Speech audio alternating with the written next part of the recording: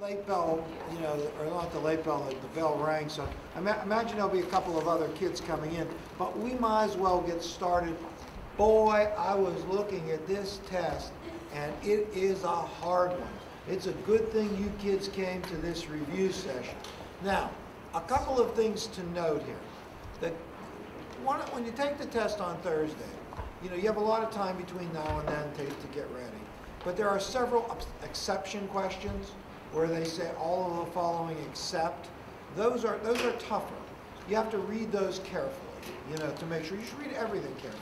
Now, the, the test is going to start with the election of 1824 right? So, and in chapter 13. In chapter 13, we'll have probably more than any of the other four chapters, more questions in it. Definitely more, right? Definitely more. Probably 20, um, maybe more of the questions will be out of chapter 13.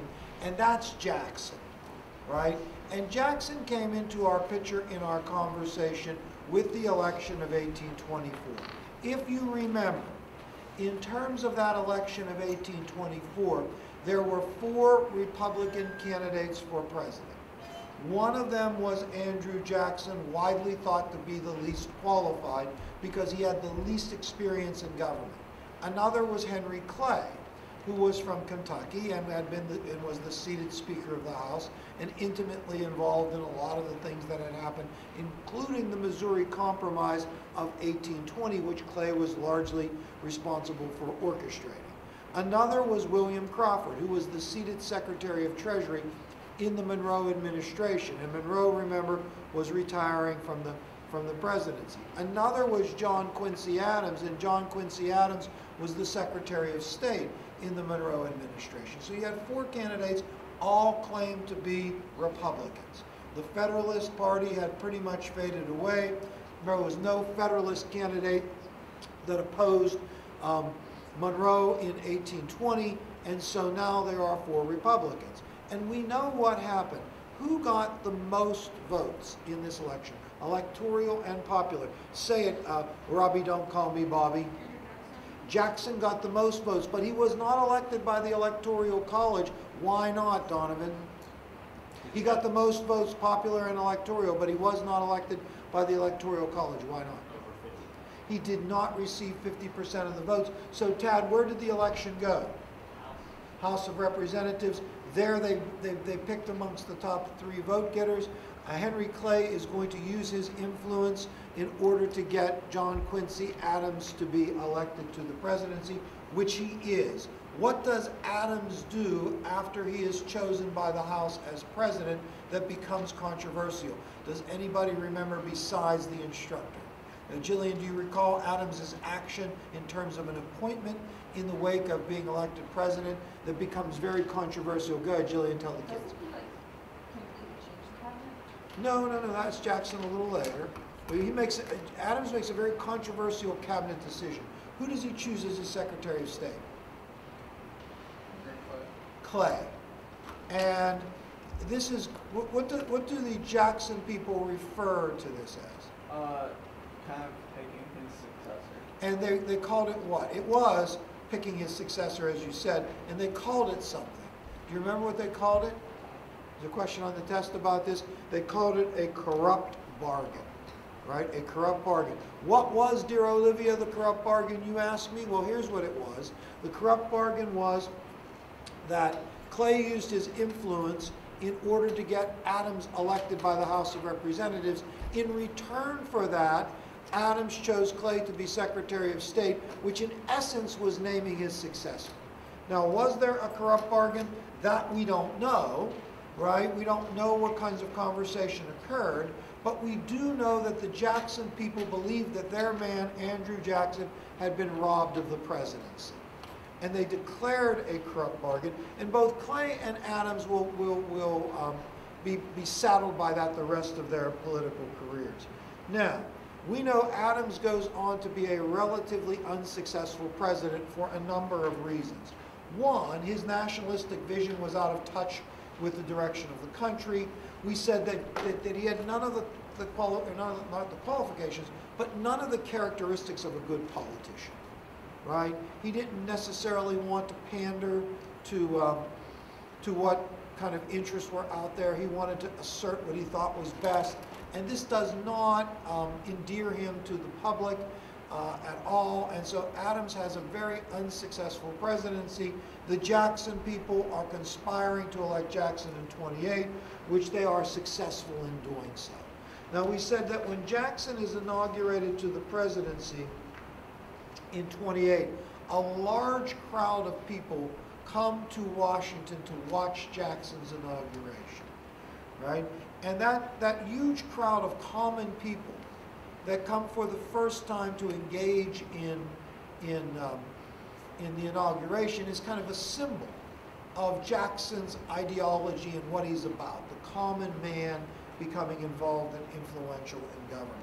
Now, initially, the two things that Jackson is going to be initially famous for in his first administration is one, the spoil system or rotation in office. Is there a difference between the spoil system and rotation in office? Josh?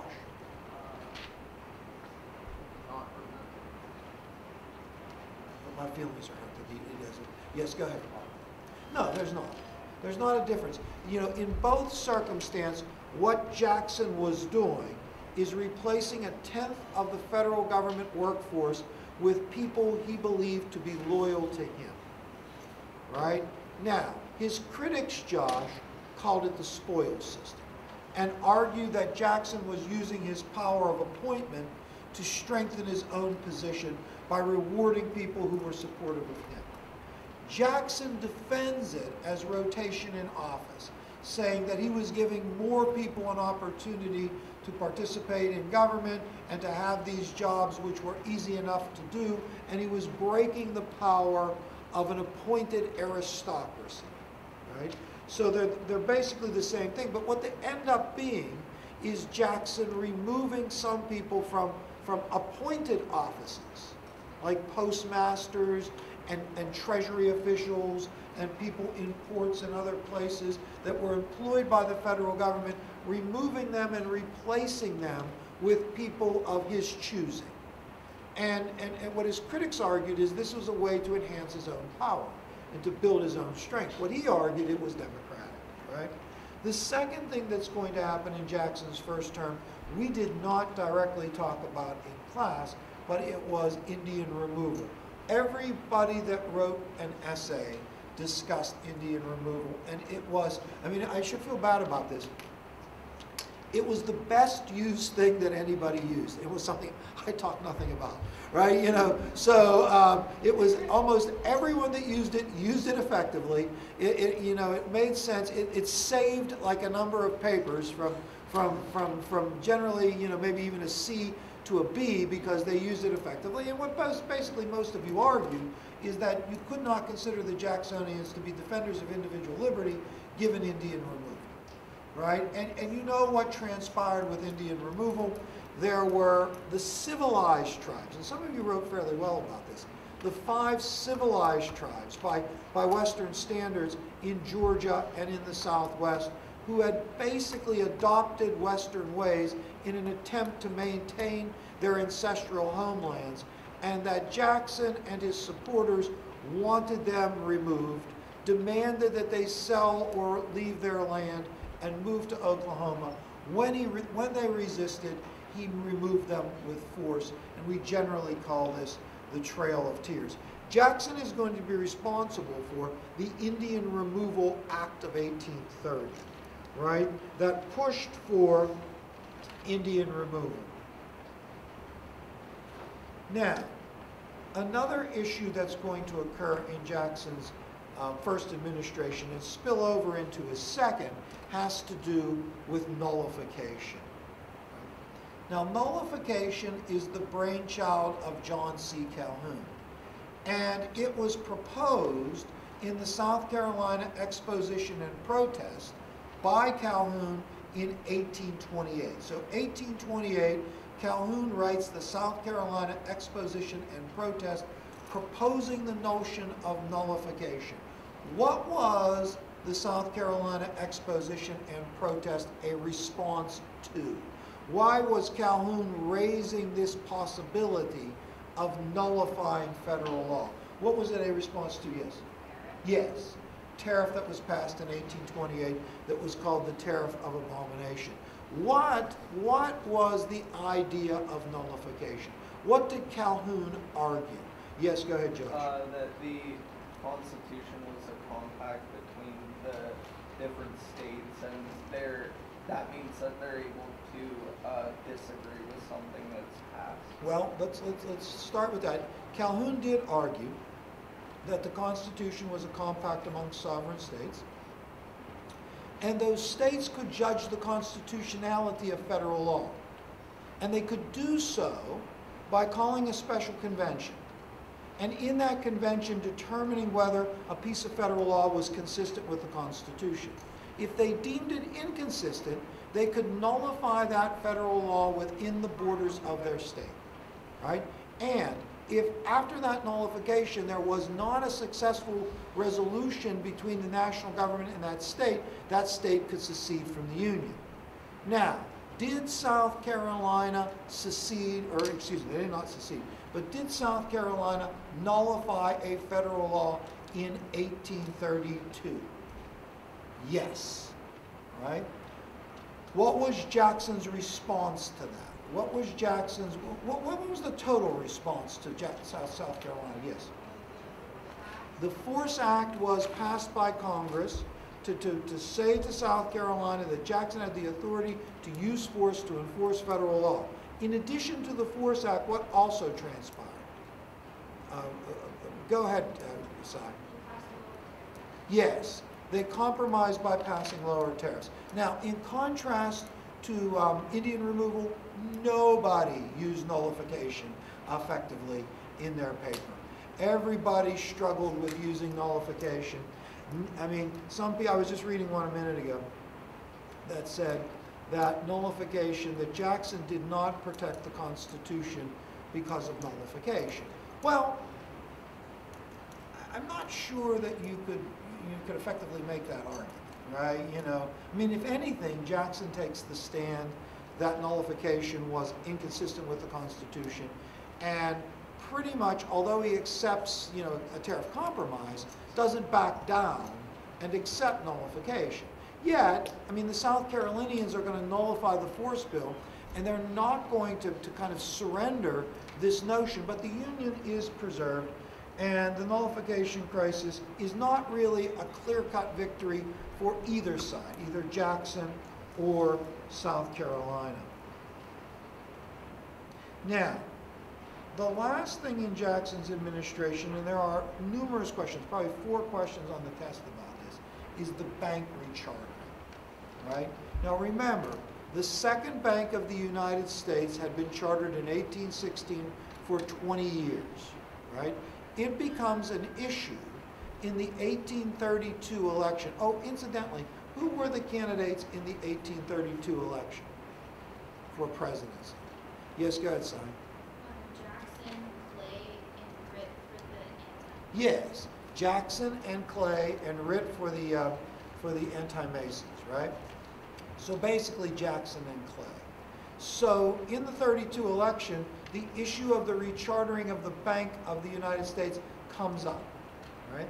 Now, the bank was not set to go out of existence until, uh, until 1836. How does it become an issue in 1832? Does anybody remember besides the instructor how this issue gets into the election of 32? Go ahead, Hamza. It's the happiest moment of my life, yes.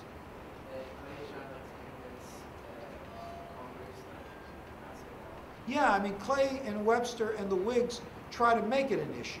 And Congress does, in fact, Hamza, pass legislation that would recharter the bank, you know, for an additional 20 years. And it passes the House and it passes the Senate, right? And it goes to Jackson and Robbie, don't call me Bobby. What does Jackson do?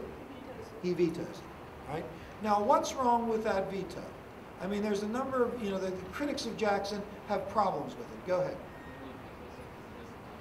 Yes, he vetoes it because he doesn't like the bank and it's considered to be his personal whim, and it is, it is, it is trumping the popular branches of government, right? You know, Congress represents the people in the states, they pass it. What right does the president have to veto it simply because he doesn't like it? What else? Uh, he want, the, um, people who were opposing Jackson believed it was him, him trying to gain power. Yes, that it was just a, a sheer act of power, and he also declared the bank unconstitutional. What was problematic with that side?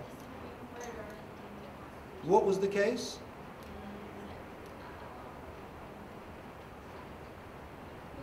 Go ahead. McCulloch versus Maryland, right? You know, that it was, it was deemed constitutional. And so, this assertion of power by Jackson in the bank veto was considered to be a dangerous assertion of power. When he was basically saying by this single veto that the president had more power than Congress and more power than the Supreme Court, right? And, and several of you in your papers kind of effectively used the bank veto to make a case about constitutionality, balance of power. Not everybody, but enough, right? Made that, that case fairly effectively. So you should have a familiarity with the bank veto. Now, uh, the bank veto, the Maysville Road veto, uh, the aftermath of the bank veto when Jackson fires basically two Secretary of Treasury in order to get them to withdraw funds from the Second Bank of the United States in order to destroy it early, right, which becomes his objective, right, all kind of coalesce with a belief amongst Jackson's opponents that Jackson was wielding dictatorial power and behaving like a king. So therefore, the party that emerges to, to, um, to oppose Jackson and his policy becomes known as the Whig Party. Now, what we said was that the, the Whig Party was held together by a common hatred of Jackson. So what all of the Whigs believed was that Jackson yielded, wielded dictatorial power and was dangerous. Beyond that, there were differences, and we saw that today. We saw Harrison, you know, the elected president in 1840, believing in a traditional expansionist, no, I shouldn't say expansionistic, um, um, a, a traditional Whig agenda, which, which, um, which supported the American system and internal development, internal improvements, tariffs, the national bank, and all of the things that Henry Clay had championed to building the country and using the national government to do so, and kind of nullification advocates who rejected Jackson because of nullification and wielding dictatorial power. And we saw Tyler versus Clay in that, right? Um, but we said the Whig Party is going to emerge, and in the election of 36, the Whigs will nominate three candidates, one of which was William Henry Harrison, in order to defeat um, um, Jackson's handpicked successor, which was Martin Van Buren. Right? And by that time, both the Whigs and the Democrats had become national parties with organizations that tried to elect, you know, representatives of those parties to Congress, to the Senate, to other positions throughout the country. Right? I mean, there are third parties, obviously, as well. But the Whigs and the Democrats are two parties. And we said by the election of 1840, you really have a transformation politically with common people being more involved, white manhood suffrage, broader suffrage, broader participation, kind of a, a, a- carnival environment of campaigning, you know, popular democracy had fully emerged. Right? Now, that takes us into economic development in chapter 14 in your textbook. And what we said was that, um, that uh, you know, that, that America was transforming. As Jackson and Jacksonian democracy is emerging politically, at the same time, America was transforming. And we talked about the general transformation that America was transforming from rural agrarian to urban industrial, and specifically that meant industrialization, urbanization, immigration, westward expansion, and the emergence of a market-style economy, right? And we talked about that. We talked about each of the elements of that. We talked about urbanization, which means that more and more Americans were living and working in cities. And we talked about the number of cities that were there that had more than 25,000 people and the number of cities with 100,000 people or more, and we talked about urbanization. We then talked about immigration, right? And we said that the 1840s and 1850s represented the largest percentage immigration in American history. And most of the immigrants that came in that time period, a huge influx of immigrants, came from two places. Does anyone remember the two places they came from? Go Jerry. The Irish and the German. And the largest group was the Irish. There are several questions about the Irish. What characteristics, Nate, do you recall about the Irish? They talked funny, besides that. Say, yes, yes, they stayed in the city. And why did they stay in the city, Matt? Yes, they were such impoverished people, fleeing famine in, in Ireland, that when they came to America, they didn't have the resources to leave the cities that they came to. So they crowded into these cities, giving an appearance of more of them being there than actually were, even though it was a large influx. You know, they were kind of stuck in these urban areas. You know, huge populations of Irish. Well, besides their poverty, what else was disturbing? Go ahead. All right, you're on. You can start whenever you want, and I'll edit it out All for right, you and post thank, it to thank you, YouTube. Mr. Stakunis. You Put this on your, in your room when I'm done? Yeah, that's fine. All right, thank you.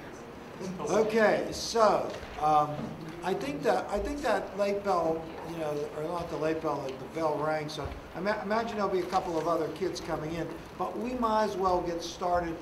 Boy, I was looking at this test, and it is a hard one.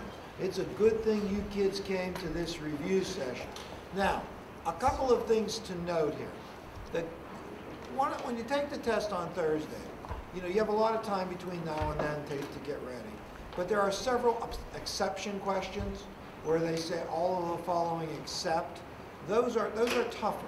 You have to read those carefully, you know, to make sure. You should read everything carefully.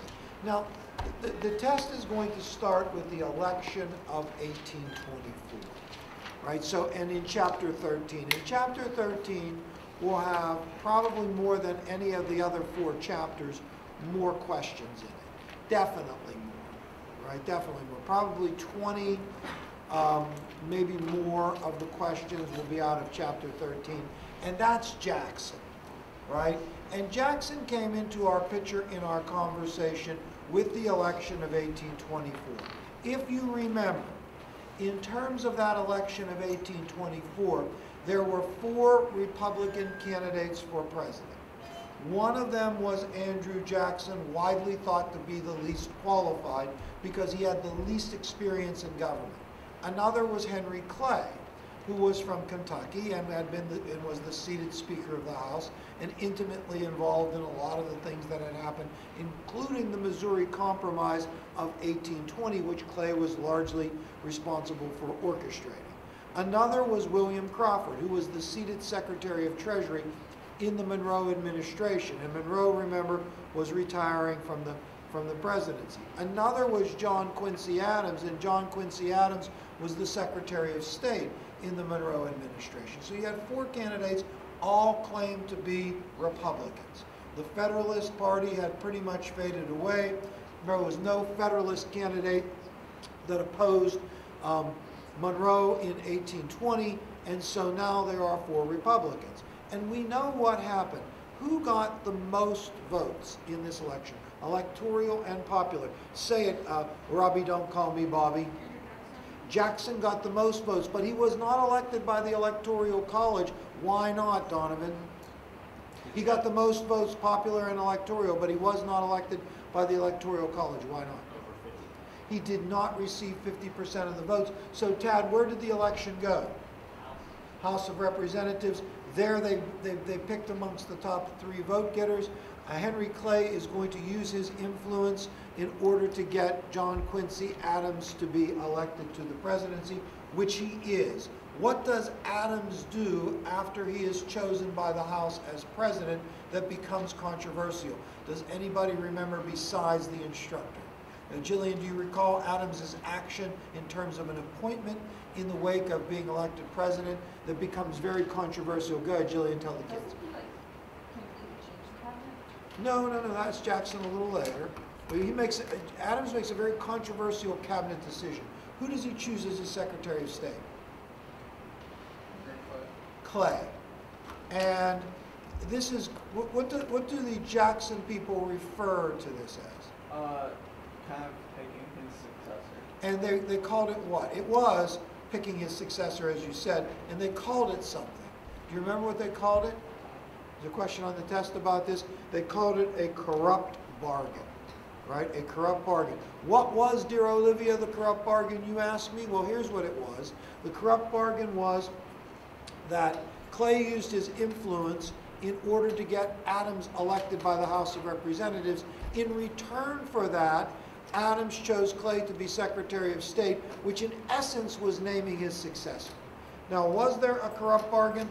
That we don't know, right? We don't know what kinds of conversation occurred, but we do know that the Jackson people believed that their man, Andrew Jackson, had been robbed of the presidency and they declared a corrupt bargain. And both Clay and Adams will, will, will um, be, be saddled by that the rest of their political careers. Now, we know Adams goes on to be a relatively unsuccessful president for a number of reasons.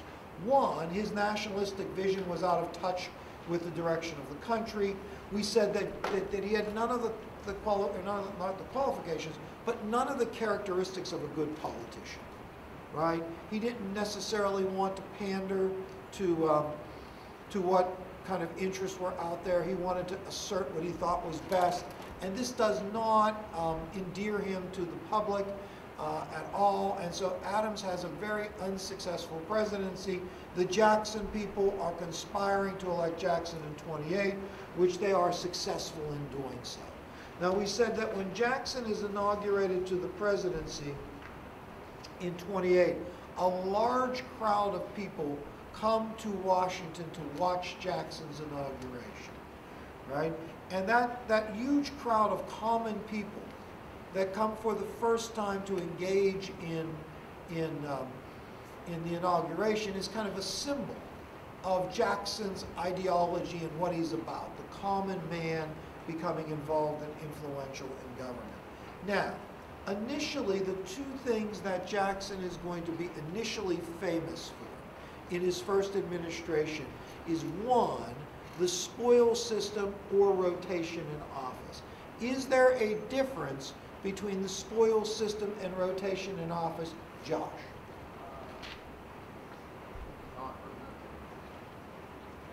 But my feelings are hurt that he, he doesn't. Yes, go ahead.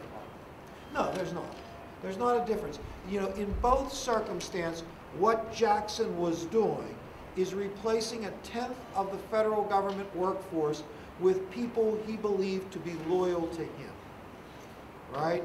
Now, his critics, Josh, called it the spoil system and argued that Jackson was using his power of appointment to strengthen his own position by rewarding people who were supportive of him. Jackson defends it as rotation in office, saying that he was giving more people an opportunity to participate in government and to have these jobs which were easy enough to do, and he was breaking the power of an appointed aristocracy, right? So they're, they're basically the same thing, but what they end up being is Jackson removing some people from, from appointed offices, like postmasters and, and treasury officials and people in ports and other places that were employed by the federal government, removing them and replacing them with people of his choosing. And, and, and what his critics argued is this was a way to enhance his own power and to build his own strength. What he argued, it was democratic, right? The second thing that's going to happen in Jackson's first term, we did not directly talk about in class, but it was Indian removal. Everybody that wrote an essay discussed Indian removal, and it was, I mean, I should feel bad about this. It was the best used thing that anybody used. It was something I talk nothing about, right? You know, so um, it was almost everyone that used it used it effectively. It, it you know, it made sense. It, it saved like a number of papers from from from from generally, you know, maybe even a C to a B because they used it effectively. And what most, basically most of you argue is that you could not consider the Jacksonians to be defenders of individual liberty given Indian removal right? And, and you know what transpired with Indian removal. There were the civilized tribes, and some of you wrote fairly well about this. The five civilized tribes by, by Western standards in Georgia and in the Southwest who had basically adopted Western ways in an attempt to maintain their ancestral homelands, and that Jackson and his supporters wanted them removed, demanded that they sell or leave their land, and moved to Oklahoma. When, he when they resisted, he removed them with force, and we generally call this the Trail of Tears.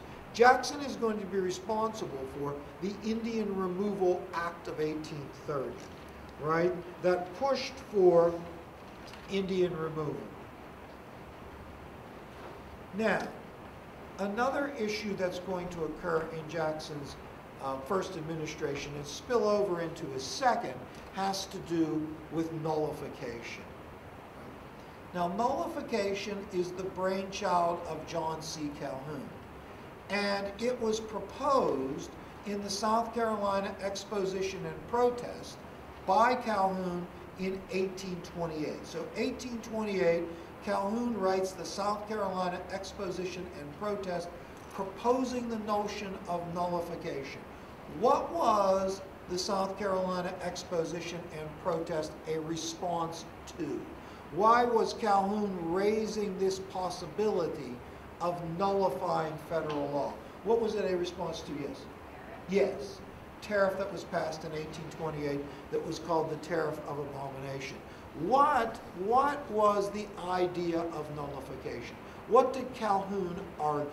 Yes, go ahead, Judge. Uh, that the Constitution was a compact different states, and they're, that means that they're able to uh, disagree with something that's passed. Well, let's, let's, let's start with that.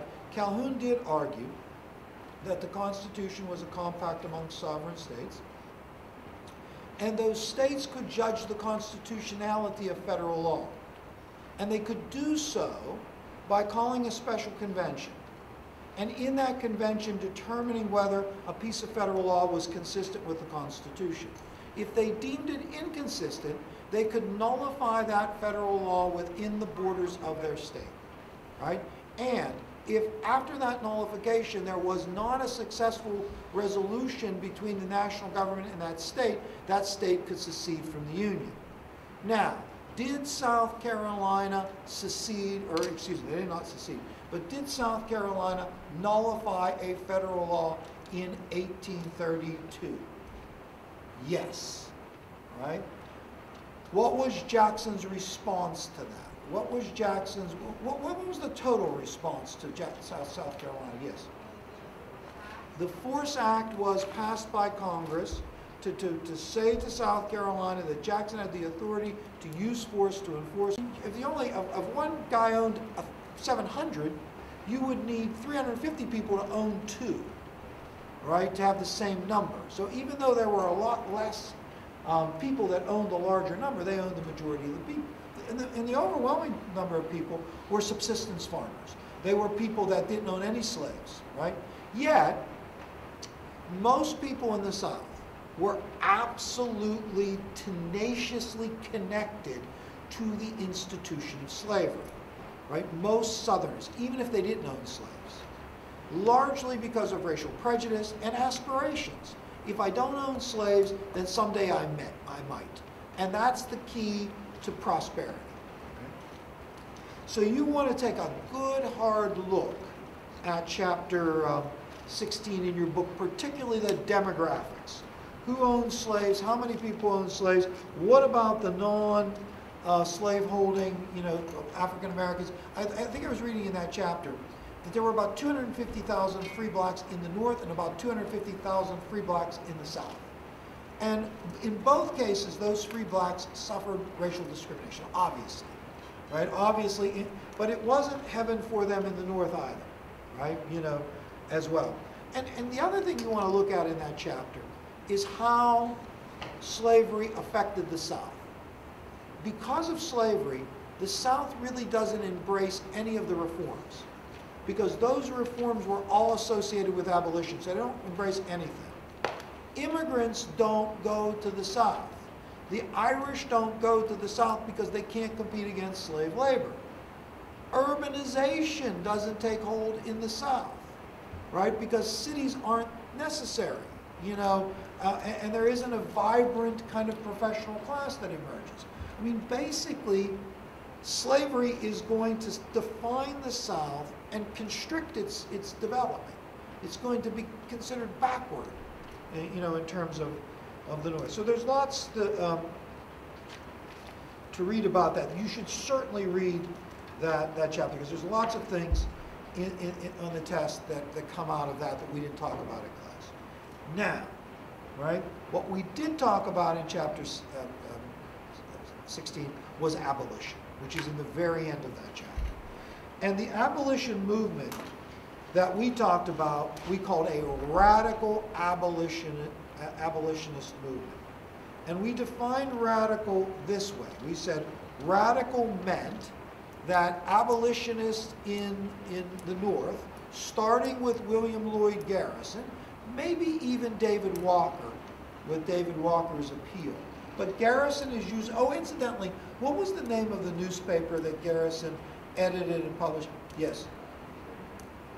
Jared, this is the, the review session of your life. You, you remember when you, Armin, your friend, had the class of his life today? This is the review session of your, of your life. Remember when Armin answered questions trying to make up for his sins, right? You know, of, of, of skipping the test and coming later in the day. Um, yeah, remember when he sinned like that? Uh, yes, you, you are correct. It is called the Liberator. And, and the big edition of the Liberator was January 1, right? January 1st, um, 1831, where Garrison says, I will be heard. And what he says is that slaveholders should immediately um, um, emancipate their slaves. The slavery should be immediately abolished without compensation or without colonization. Remember, what was the name of the organization that was intended on recolonizing liberated slaves back to Africa? Does anybody remember? Yes. The American Colonization Society. The failure of the American Colonization Society, gradual emancipation with colonization is what leads to Garrison and others saying, forget it, slavery is a moral evil, it should be immediately abolished right? And so we talked about some prominent abolitionists, which you should have a, a familiarity with, and we talked about the Southern response to abolition. You know, they are going to defend slavery now. It is going to be abolition and cotton that, that causes Southerners to change from considering slavery to be a necessary evil to defending it as a positive good right? That slavery is good. Remember Calhoun's speech? Don't get me wrong. I'm not saying that slavery is bad. It is good. It is a positive good. It's in the Bible. It's good for the slave. It's good for the slaveholder. Everyone benefits from it. Leave us alone, right? Now, in order to defend slavery, they are going to open the mails. You know, the Southern postmasters will open the mail and destroy abolitionist sentiment and the gag rule. What was the gag rule? What was the gag rule? Does anybody remember? Yes, go ahead. Wasn't it like a restriction on free speech, like you couldn't talk about abolition? in the Congress. So any petition that came into the Congress of the United States was immediately tabled. And when something is tabled, you can't talk about it. So it was a way to suppress discussion about slavery in Congress, the People's House, the gag rule. And then we talked briefly about Northern opposition slavery, right? And, or not to slavery, to, um, to abolition. And we talked, and we reviewed that today, the three reasons why Northerners generally opposed radical abolitionists. One, it potentially could destroy the Union. Two, it could destroy the economy. And three, the consequences of liberating four million ex-slaves or four million slaves might affect the labor market, among other things. And so we talked about that. Now, on the test, when you take it, there are going to be three sets of questions that will be associated with either a cartoon picture, um, a text, where you have to answer questions. And some of them will be about Jackson, some of them will be about slavery, and some of them will be about reform. So really, there'll be one about Jackson, one about slavery, and one about reform, because there's only three. And so we've already reviewed all three of those things, right? Now, does anybody have any other questions, anything else you want to go over before we conclude for the day? Hamza, are you content with your review? All right, well then that's it for today. Matt, push the button. Do it, do it.